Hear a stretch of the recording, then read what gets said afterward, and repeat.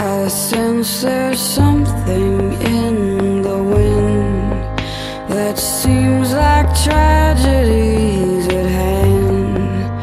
And though I'd like to stand by him, can't shake this feeling that I have. The worst is just around